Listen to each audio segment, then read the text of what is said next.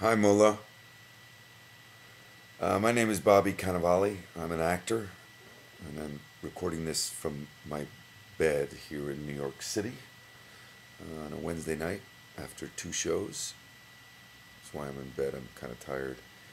Uh, did two plays today, matinee and an evening performance here on Broadway, and uh, I couldn't be happier. Uh, I love being an actor. I've always wanted to be an actor. And, uh, you know, if I wasn't an actor, I, I, I'd probably be walking around talking to myself a lot. And I love to listen to people. I love to observe people. I love having conversations with people and hearing different viewpoints and storing all that up and not making judgments on it and in the hope that I can one day use these different viewpoints and these different personalities and sort of funnel them into a character that I might one day play.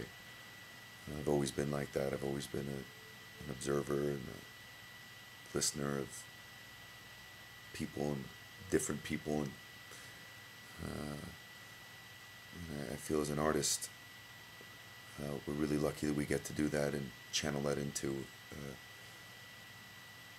imaginative work and work that uh, is life sustaining for me because without it I really would be a, out in the street.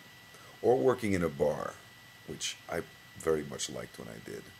So if I wasn't an actor I'd probably work in a bar.